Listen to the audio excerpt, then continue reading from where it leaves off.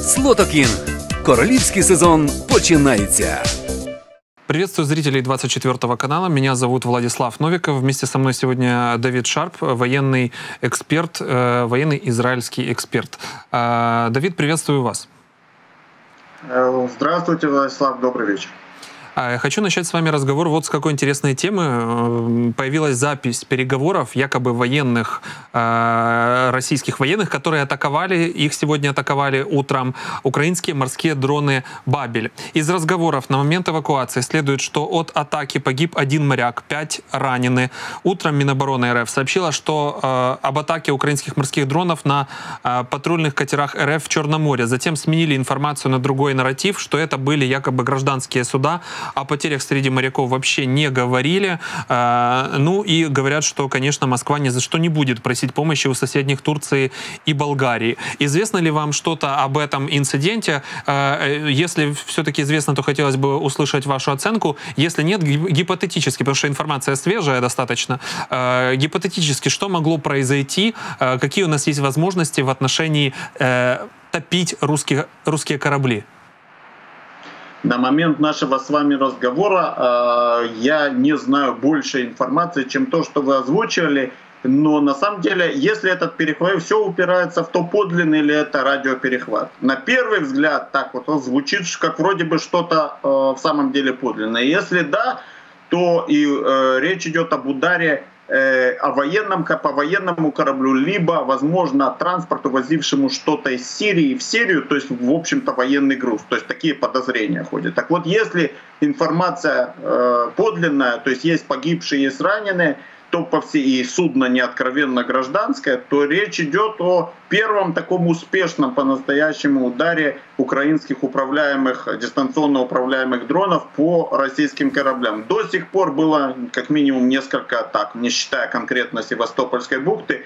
Более того, были даже очень успешные сближения дронов с российскими кораблями. Почему я это говорю? Мы видели, мы видели видео прямо, когда он утыкается в борт.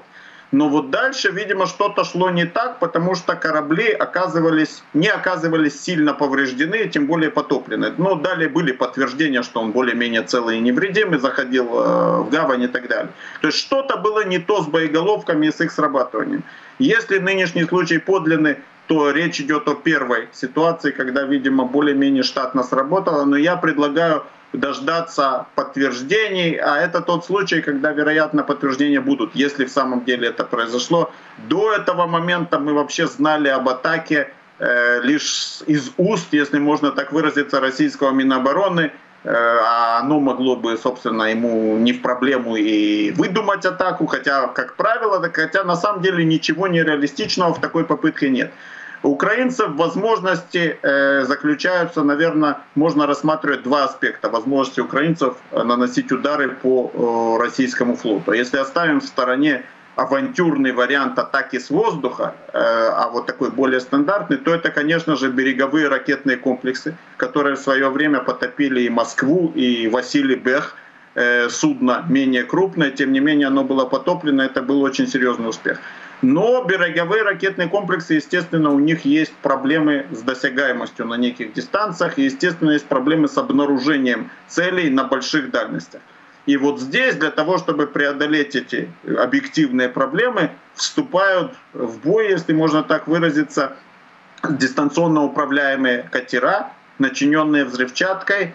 Э, и как показала практика, им удается как минимум иногда сблизиться с российскими кораблями. Поэтому здесь важно, чтобы была рабочая модель, то есть штатно срабатывала боеголовка, правильно сконструирована, и тогда перспективы вполне имеются. Причем и в открытом море, как мы могли видеть, и в районе Севастополя. Э, есть, конечно же, слабости э, и уязвимые места. Когда этот кораблик назовем это кораблик, да, это иногда просто моторная лодка гражданская, переделанная в такого рода э, ударный боеприпас. Когда она сконструирована именно на основе гражданских технологий, то она более уязвима. Например, если такого рода боеприпас очень сильно притоплен и почти незаметен э, с атакуемой цели, то есть лишь малая часть его над водой, то это делает его э, менее уязвимым. С другой стороны, это более сложная конструкция, естественно, более дорогая и более проблематичная для, для применения.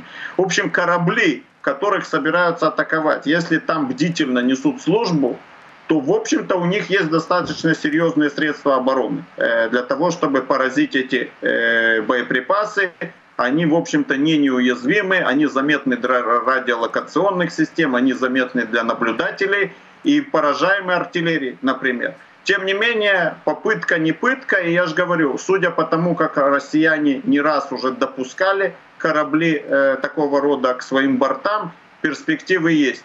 Ну и, конечно же, есть еще определенные ограничения. Например, насколько я понимаю, высокую волну подобные, подобные катера не могут действовать вдали от берега. Но, опять-таки, э, есть вполне и, и времена, когда на Черном море штиль или что-то подобное – Поэтому возможности воспользоваться ими, э, их использовать на практике, конечно же, будут. А вот проявляют, э, насколько я вижу, э, военный креатив э, наше руководство, в том числе используя вот эти гражданские суда, начиненные взрывчаткой. Вы правильно подмечаете тот факт, что не всегда это может срабатывать, но все же успехи мы видим и Крымский мост, и, и различные другие, да. Это главный успех. Вот это главный успех. В отличие от удара по кораблям, тут успех на лицо, и он очень весом.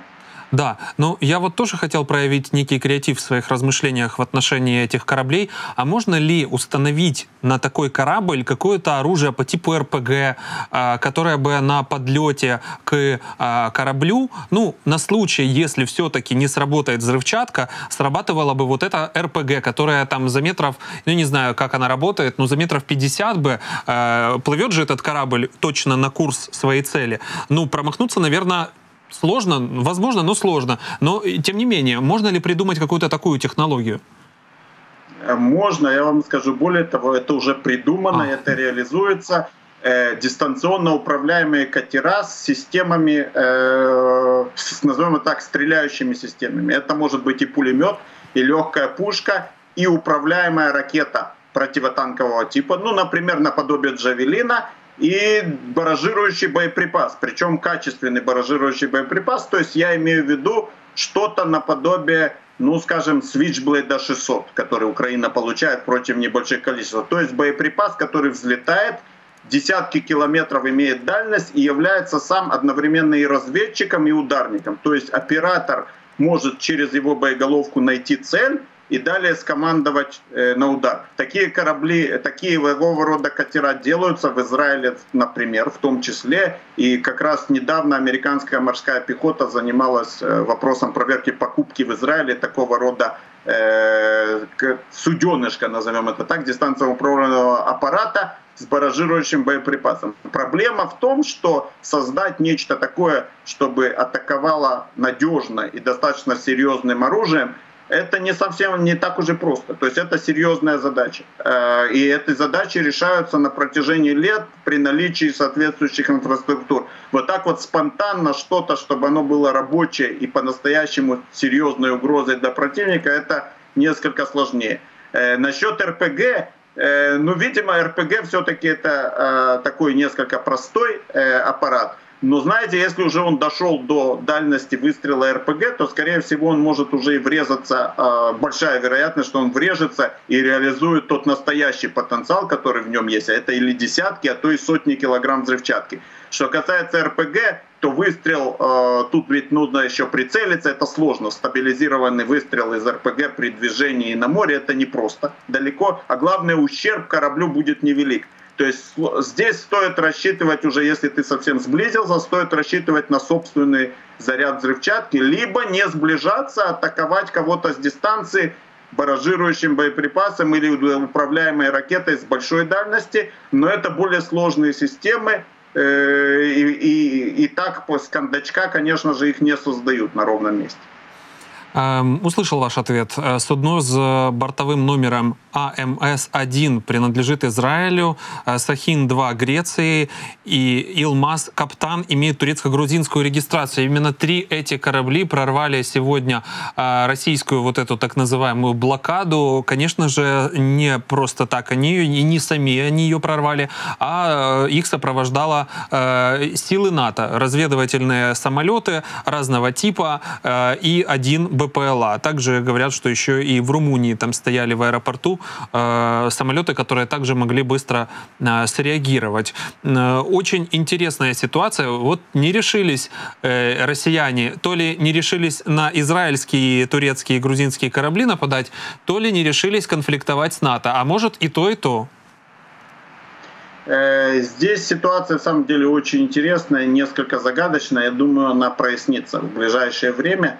Но я практически уверен, что а, роль натовских э, сил в данном случае она не была в качестве конвоя, который готов был вступить э, в столкновение с Россией. Это абсолютно противоречит нынешней стратегии НАТО. Не зря НАТО очень осторожно в своих действиях, кстати говоря, вплоть до того, что американский беспилотник был безнаказанно ну, по сути, сбит в свое время российским истребителем, американцы не отреагировали. Американцы считают, что до определенной черты э, идти на какой-то риск, даже минимальный, подчеркиваю, минимальный столкновение с Россией нецелесообразно. Поэтому в данном случае натовская миссия заключалась в наблюдении, в самом деле, чтобы Россия чего-нибудь не учинила, а в нейтральных водах просто взять и атаковать суда, но это было бы беспред... не то, что беспрецедентным пиратством. Прецедентов хватает более чем, но это было бы слишком даже для России. То есть если бы Россия на нечто подобное решилась, это бы было бы обставлено так, чтобы не было прямых доказательств. То есть как-то вот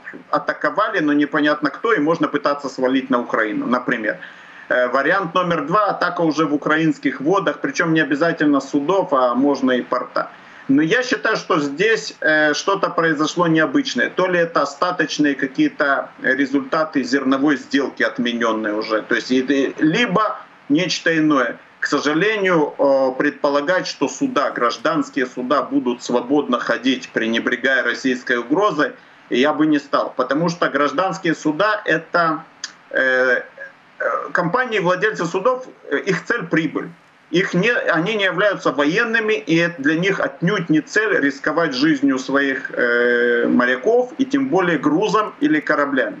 В тот момент, когда они будут чувствовать, что есть реальная опасность, причем она не должна быть особенно сильной, э, сложно рассчитывать, что коммерческие фирмы или э, кто-то к ним имеющий отношение будут э, продолжать рисковать. Э, у России, к сожалению, есть возможность напугать, причем даже не прибегая к такому совсем уже откровенному нападению, атаки на конкретное судно в нейтральных водах, есть возможности напугать э, иностранных, да и не только иностранных судовладельцев, их страховиков, тех, кто страхует, Э, чтобы это не происходило дальше. И я предполагаю, что если Россия сочтет это возможным, они поступят подобным образом. Это может быть атака украинского порта, например, когда там поблизости находятся или стоят суда. В общем, э, здесь э, я бы хотел сказать что-то оптимистичное для телезрителей, но, к сожалению, я не вижу такого развития, что корабли и суда безнаказанно, что называется, без проблем проходят, а Россия на это закрывает глаза. Э, здесь, видимо, мы имеем в виду с единичным случаем или единичными, которые продолжатся до какого-то определенного момента, потому что трудно предположить, что Москва с этим смирится и махнет на это рукой.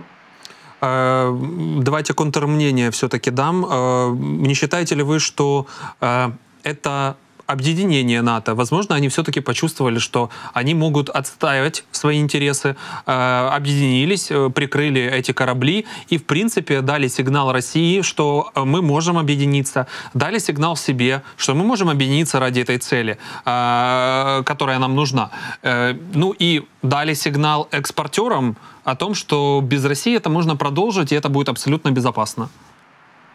Э, я, я здесь с вами не соглашусь. Это бы было коренным изменением стратегии НАТО, когда оно решило, чтобы бы решило, что оно, блок в смысле, решил да. бы, что э, столкновение с Россией их далеко не так пугают, и если что, добро пожаловать. Так вот этого коренного изменения не прошло. А если конвоируют и прикрывают, в, тот, в этот момент должны исходить из предпосылки, что возможно столкновение. А если россияне атакуют, а что делать тогда? Или это псевдоприкрытие, или должны быть проработаны все эти сценарии, или мы отвечаем. Так вот, в такой ситуации, когда они атакуют, а мы отвечаем в Черном море, тем более ради зерновой сделки, это, на мой взгляд, на данный момент очень далеко. НАТО не принято такое решение.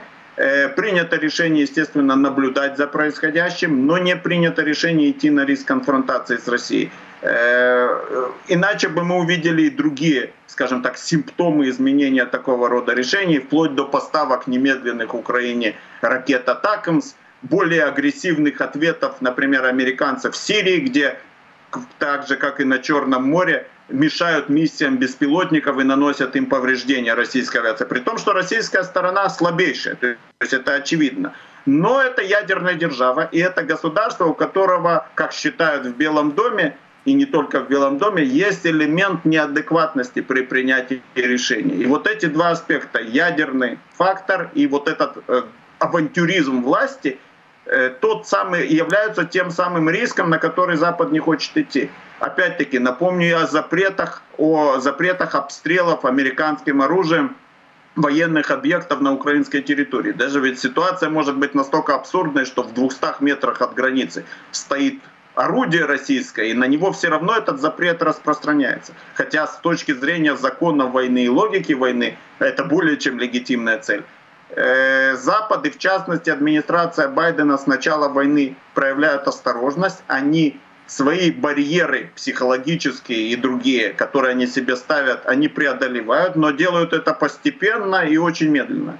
И поэтому я не вижу пока такой ситуации, когда, скажем, Турция или страны НАТО в буквальном смысле конвоируют и пытаются на всякий случай чуть ли не дать бой россиянам, если те атакуют суда. И я скажу более того, даже суда гражданские – но чисто гражданские суда, не украинские, которые, опять-таки, их цель – прибыль у владельцев компании. Даже под конвоем, понимая, что их могут атаковать все равно, что они в рискованной ситуации, здесь мало кто решится в итоге таким делом заниматься. Более того, конвой и все остальное, а на украинской территории, вот он уже вошел в украинские территориальные воды, вот он, при, вот он э, в порту, будь то Южный, Одесса или Измаил.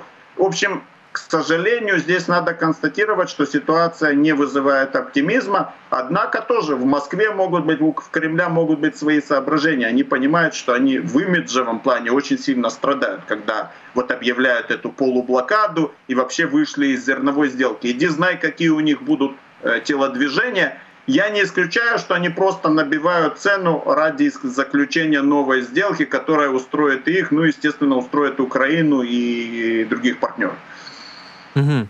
Услышал ваш ответ. Хочу продолжить мысль о том, что у России есть ядерное оружие, о том, что это ядерная держава, у которой есть фактор, э, как вы сказали, неадекватности, который учитывается. Вот заявление от сенатора США от республиканской партии Линдси Грэма прозвучало.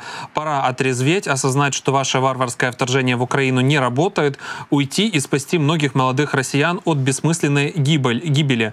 Э, использование России ядерного оружия против Украины будет считаться нападением на НАТО.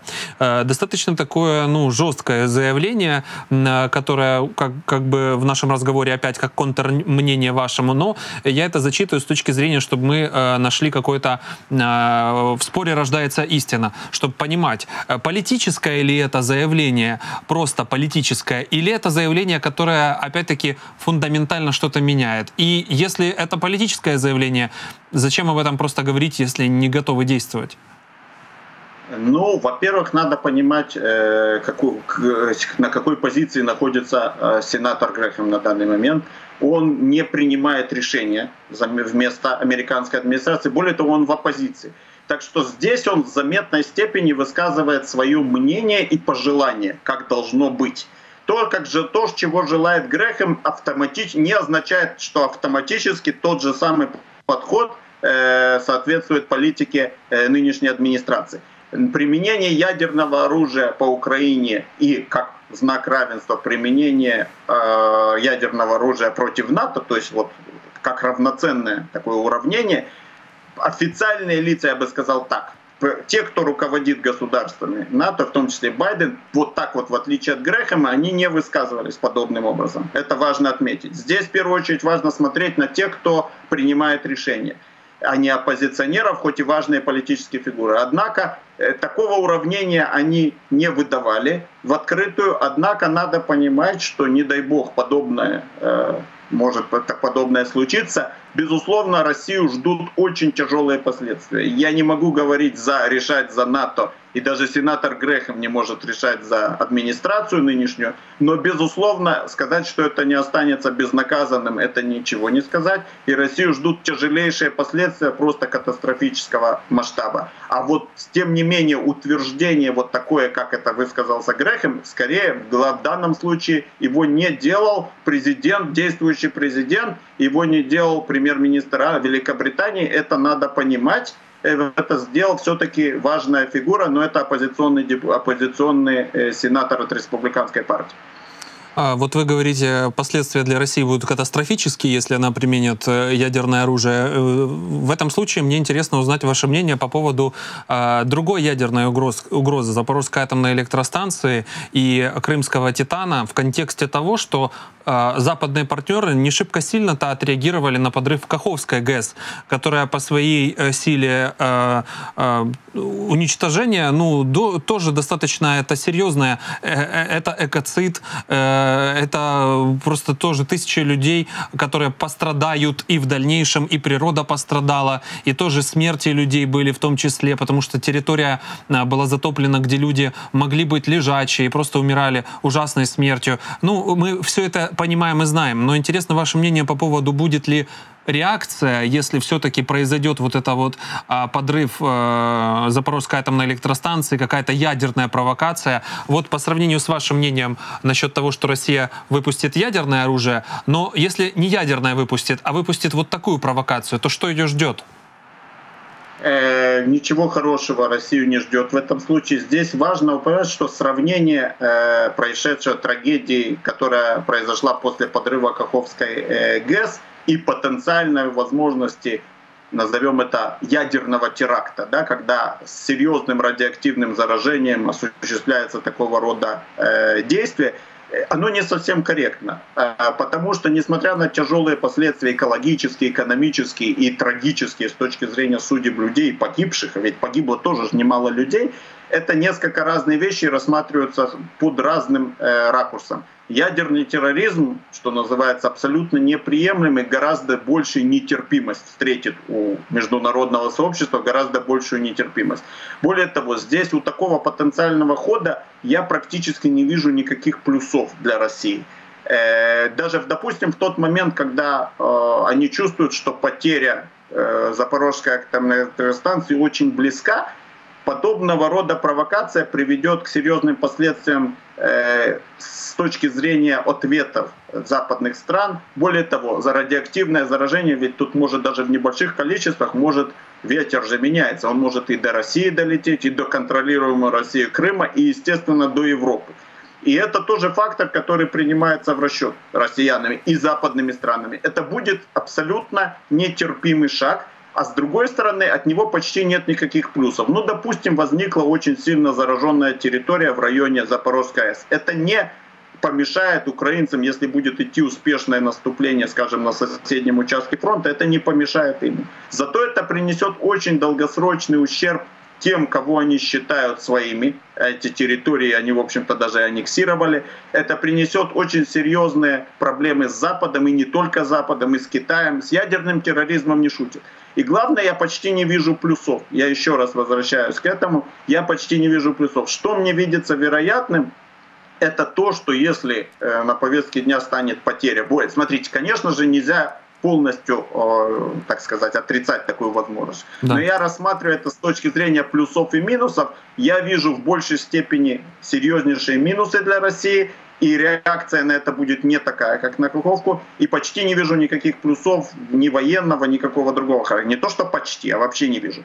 Э, с точки зрения практики мне видится реалистичным другой вариант. Это то, что они, э, если у них будет время при отступлении, постараются вывести ее из строя без серьезного радиоактивного заражения, постараются вывести станцию без, из строя, но это касается, этот прогноз мой касается любого более-менее ценного объекта, начиная от моста и заканчивая какой-нибудь трансформаторной будкой. Где у них будет время вывести, они вывезут, где будет время взорвать, взорвут. Так стратегию выжженной земли никто не отменял. И, кстати, во время отступления с Херсонщины кое-что из этого они продемонстрировали. Они взрывали инфраструктуру, кое-что увезли с собой.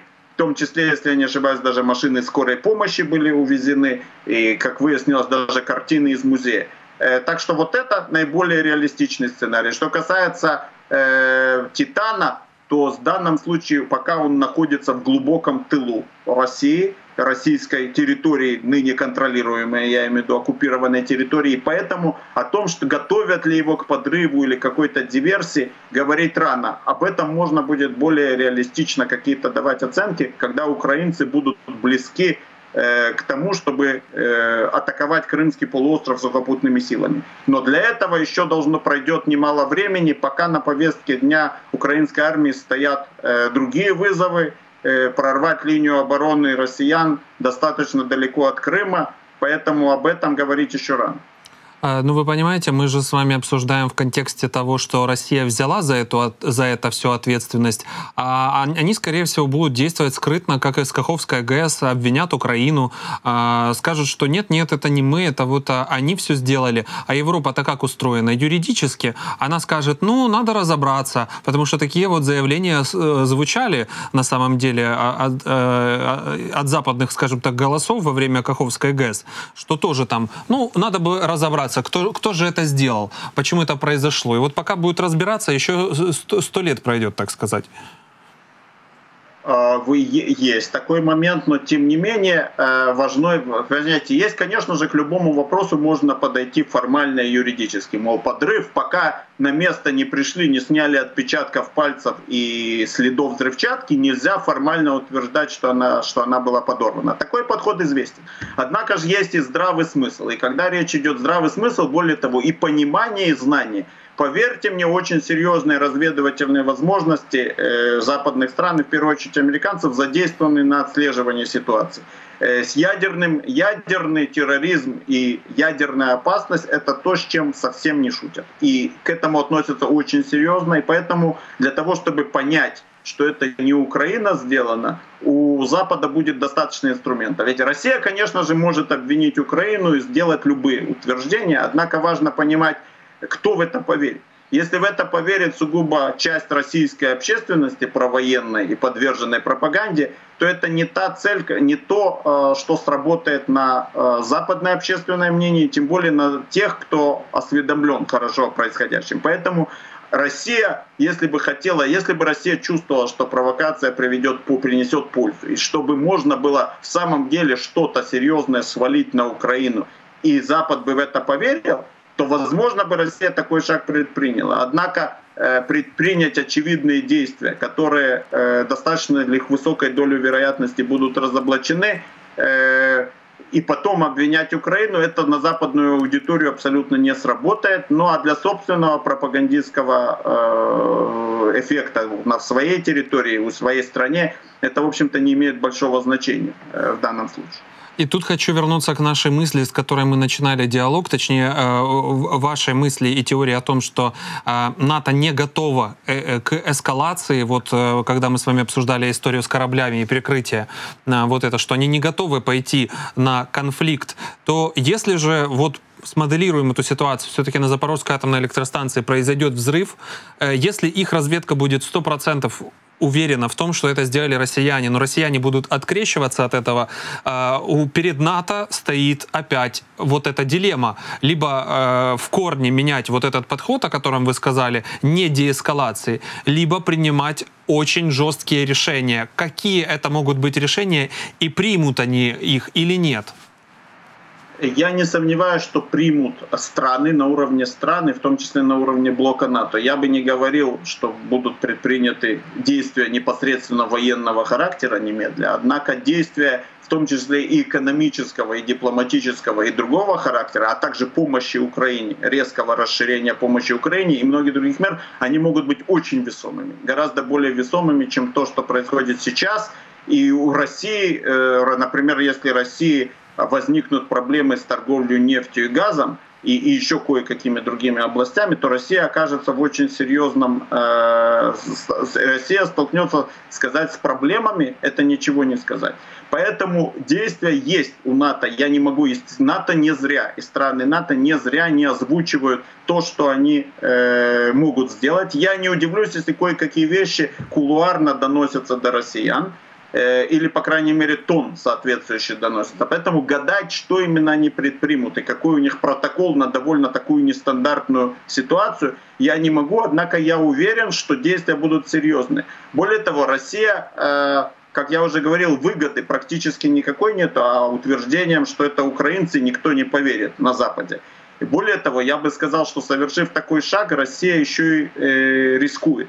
Э, ведь она рискует тем, что какие-то граждане, причем это могут быть поддерживающие Украину кто-то из живущих в России, это может быть само украинское руководство, которое решит, что перейдены красные линии, э, пойти на, такого рода месть. Э, я бы сказал, похожего характера. То есть нанести удар, например, по ядерной электростанции в России. Причем это может быть кто-то даже самостоятельно попытаться сделать из чувства справедливости. Когда ты переходишь красные линии и загоняешь противника в угол, что называется, а это будет, несомненно, чем-то подобным, иди знай, кто и как отреагирует. И я думаю, что в России должны это тоже прекрасно понимать, причем отреагировать, подчеркиваю, могут и люди индивидуально, и даже руководство о возможности Украины есть, в том числе и запрещенным оружием, которое запрещено применять по территории России, не запрещенным на уровне диверсий. Поэтому такой шаг он может повлечь очень серьезные последствия и был бы крайне неразумным. А что касается россиян, которые способны на те или иные шаги, то, как ни странно, таких тоже хватает. Волна поджогов военкоматов, например, причем в последние дни, она э, намекает на много. Там, правда, случаи, множество случаев совершенно странных, когда да. в самом деле мошенники убеждали, мошенники, кто-то убеждал наивных людей, даже, видимо, не в себе немного осуществить этот шаг. Но я просто привожу пример. Есть те, кто по идеологическим соображениям могут совершить тот или иной поступок, и есть те, кто из чувства мести или даже будучи слегка безумными. Я бы учитывал этот аспект, я думаю, что российское руководство тоже должно это понимать. И в конце концов, если речь идет о ядерных э, электростанциях, ведь в Украине есть и другие действующие ядерные электростанции, и теоретически они в зоне досягаемости российского оружия конвенционального э, кстати, как и российские в зоне досягаемости украинского. Однако стороны от этого воздерживаются, и все не зациклилось отнуть э, на Запорожской. Надо это тоже учитывать.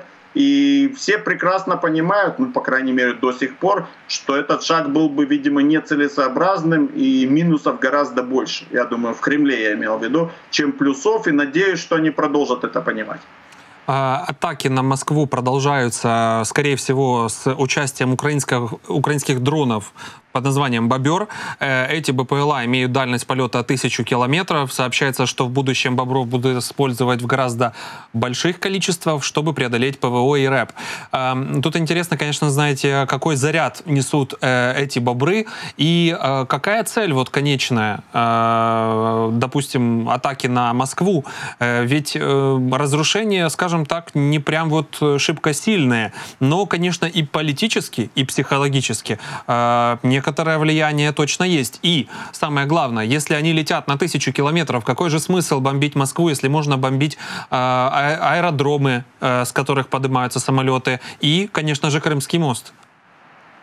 Э, ну, Крым, давайте начнем с Крымского моста. Крымский мост для такого рода боеприпасов, э, такого рода боеприпасы для него э, как э, песчинка, по большому счету. Для Крымского моста нужны тяжелые боеприпасы, ну, либо специфический подрыв. Э, Поэтому, но вы очень правильный, затронули очень правильную, э, правильный момент. Э, удары, те, которые мы видели последние три дня по Москве-Сити, э, по Москва-Сити носят э, по большому счету медийный характер – и такой вот, э, это попытка дать, причем удачная, публичную пощечину российской власти, российской армии, порадовать, кстати, украинскую общественность, которая ужасающим образом, украинское общество страдает от, э, от войны уже почти полтора года и видеть то, что и в Москве, до Москвы долетело, что от греха таить, подавляющему большинству украинцев это приятно. Кстати, в Израиле 100%. правительство иногда тоже наносит удары, в том числе руководствуясь подобными соображениями, когда люди в отчаянии, в очень плохом настроении должны увидеть какой-то вот такой визуально заметный результат. Так что в первую главную очередь это были медийные. Понятно, что они априори не рассчитывали те, кто атаковал, я не знаю, какая служба и кто конкретно за это ответственный, э, нанести серьезные повреждения. Более того, и заряды взрывчатки были незначительные количества. Это был эффект э, моральный в первую очередь, причем с воздействием на обе стороны и так своего рода троллинг. Особенно то, что три дня спустя после того, как э, российская Минобороны заявила, что средства радиоэлектронной борьбы отклонили аппараты, при этом, правда, они попали в Москва-Сити, чисто случайно в одно из самых символически важных мест в городе, вот так какая вероятность того, что именно туда попали отклоненные дроны, а не, скажем, какой-нибудь полисадник и дом. И вот, видимо, чтобы доказать несостоятельность и как-то даже в какой-то мере посмеяться над этими заявлениями, через три дня ровно в то же место, и главное, что удивительно, российская Минобороны не постеснялась заявить, что оно снова отклонило, и снова таким чудесным образом он попал ровно туда же, даже тут уже закрадывается мысль, что это не отклонение, а перенацеливание специально э, в Москва-Сити. Но шутки в сторону, я думаю, что это было именно это было целью. А вот дальше идет важный момент. Медийные удары медийными ударами, это довольно важно, но в идеале необходимо наносить противнику реальный ущерб. Это и отвлекать его ресурсы ПВО, которые, кстати, вот такими ударами тоже как-то отвлекаются, и наносить ущерб военным объектам, военным объектам или объектам двойного назначения. Как вы правильно заметили, это аэродромы в первую, не последнюю очередь, и другие. Более того, таких объектов хватает и в районе Москвы, и не только, в глубине России э, и гораздо далее. Москва это плюс-минус 500 километров. Не знаем, где была точка запуска, но дальности в тысячу километров должно хватить, во-первых, до Санкт-Петербурга, а, примерно, а во-вторых, для многих других мест э, интересных в России с точки зрения военной. Э, для того, чтобы регулярно поражать э, военные объекты, наносить существенный ущерб. И раздергивать российские ресурсы, необходимо большое количество, будь то бобры или будь то кто угодно, но другой представитель флоры или фауны, но важно большое количество работающих, довольно помехоустойчивых машинок, с большим радиусом, там, 1000 километров, 500, от 500 до 1000 километров, с неплохим зарядом взрывчатки, и главное их массовое производство, и чтобы они были надежны. И вот тогда можно достичь довольно э, ощутимого эффекта не только на уровне сенсаций, когда атакован Москва-Сити или купол Кремля слегка пострадал, но насколько можно судить, украинцы гораздо более активно, что называется, по делу, практически атакуют, например, цели в Крыму.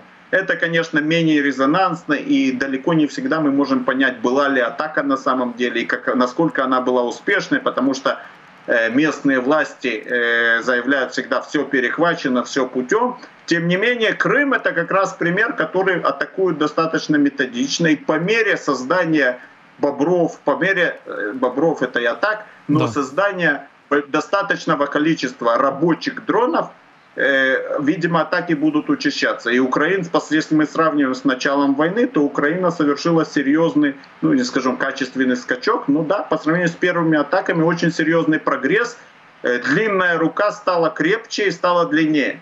Э, но еще раз, по-прежнему до такого систематичного поражения военных и важных объектов на территории России, или, по крайней мере, таких попыток, еще далековато. Но прогресс на лицо, а здесь только практика покажет, насколько он будет реальным и насколько э, большое значение он будет иметь или не будет, если он не приобретет должных масштабов.